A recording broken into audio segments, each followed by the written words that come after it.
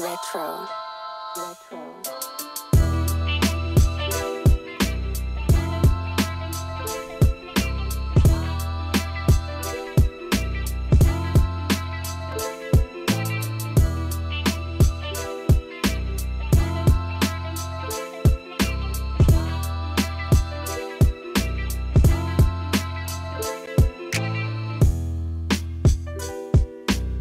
Welcome to uh, FU Sports on FU TV. Subscribe, remember to subscribe. Uh, we save dogs.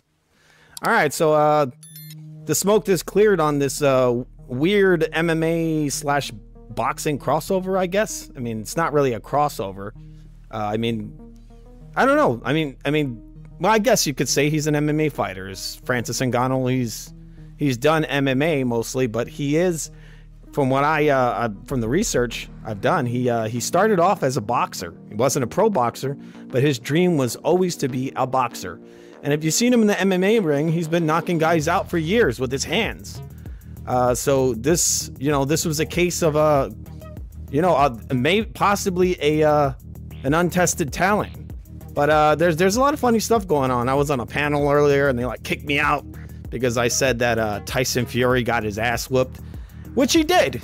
He got completely owned. I mean, uh, and and a lot of people want to make it out and make it seem like uh, like Francis Ngannou got lucky, or they're saying the fight was fixed. And uh, I don't I don't think I agree with that. I think uh, I think the better man won but didn't win. Uh, Fran- uh, Tyson Fury got his ass whooped, and we're gonna be looking at some of the stuff that's going on around the web right now.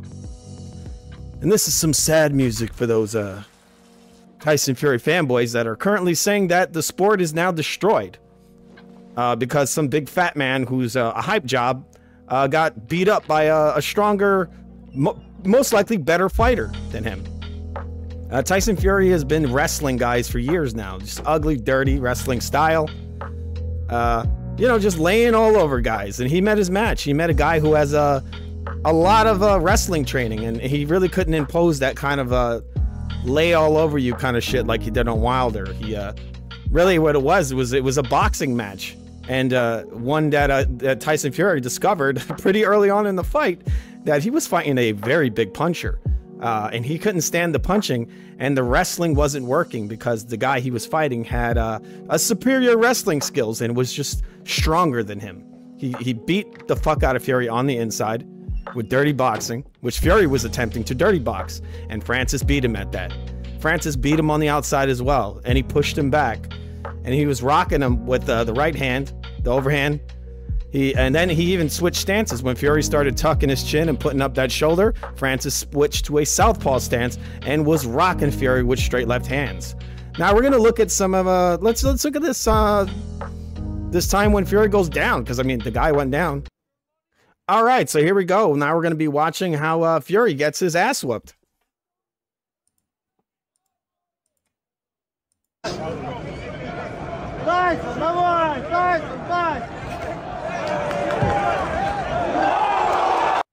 So there you go, right there. Uh, Fury thought he was cool and he's very predictable. He just throws in the straight right hand. Francis has his hands tucked up high. He glances, the, the blow glances off of Francis's hand, and Francis fires back with a left hook. His hands are incredibly heavy, and he knocks Fury the fuck down. From this moment forward, Fury was fighting scared. He was fighting a bigger puncher that was actually outboxing him. This was not a lucky punch. This was a well, this is a very relaxed fighter in there who made a fat, overrated bum pay for his mistake.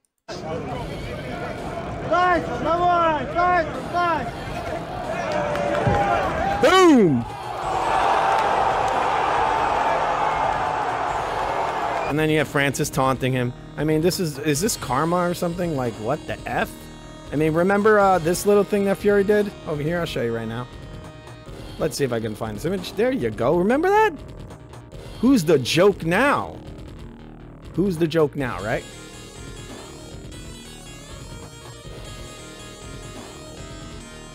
Okay, there's no audio. Tyson. Officially weighing victories including UFC trimmed with gold 77.7 pounds. Now, some people are saying that he's real fat and all this. He doesn't look too different from what he usually looks like to me. He's fat. He's always fat. His professional record in the ring, 34 fights, 13 Looks pretty confident.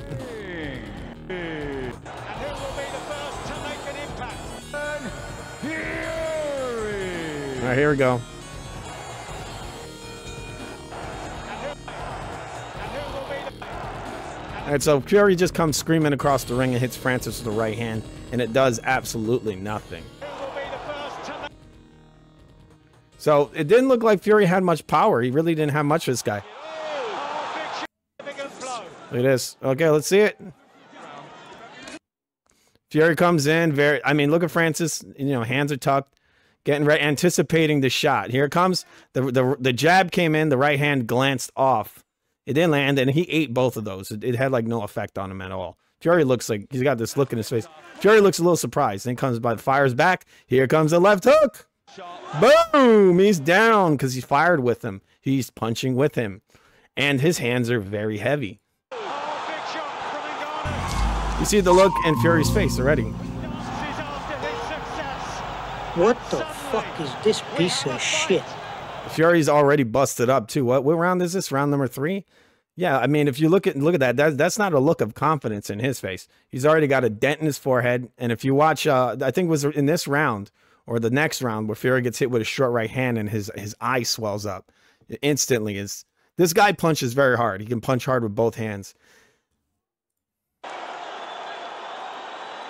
So yeah, you see that deep that exhale.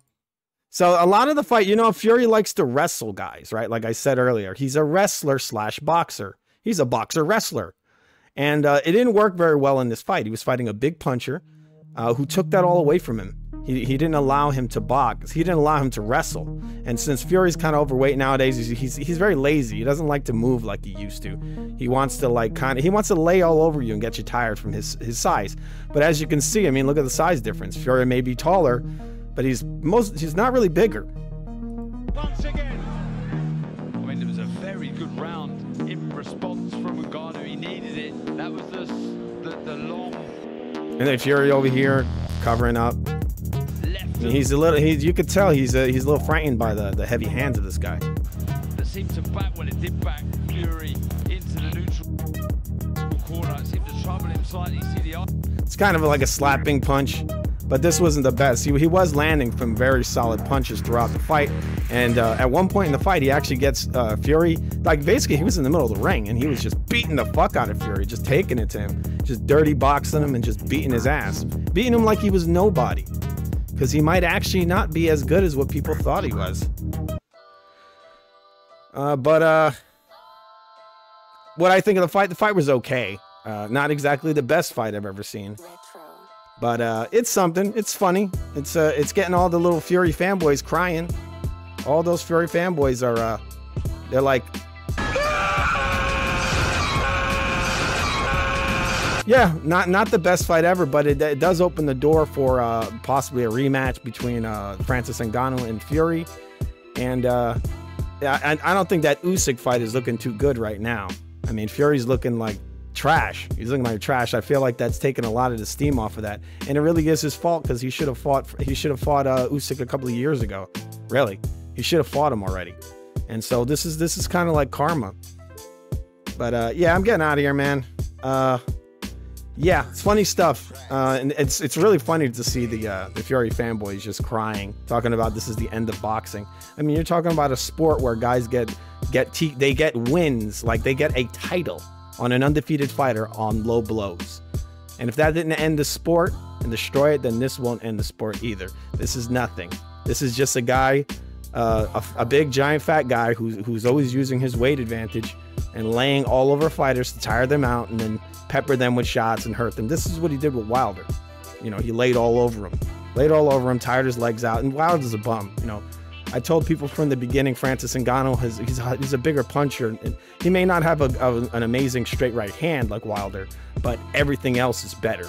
He's all around a better fighter than than than uh, Deontay Wilder. He's better than him. And that's all it is. He thought this guy was going to be a walk in the park, and he's not. And I predict Francis Ngannou, if they have a rematch, will be knocking Tyson Fury out because he's not going to. There's the fear isn't going to be there anymore. He's fought this guy. He's felt this power. He's he's done it all. And what is what is Tyson Fury gonna do to Francis Ngannou? Is he gonna wrestle him? Sorry, that doesn't work because this guy's a better wrestler than him. Is he gonna outpunch him? Nope. He's shown he can't he can't hurt this guy.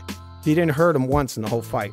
If anything, I think Francis is gonna become more aggressive in the rematch, and he's gonna probably lay Tyson Fury out.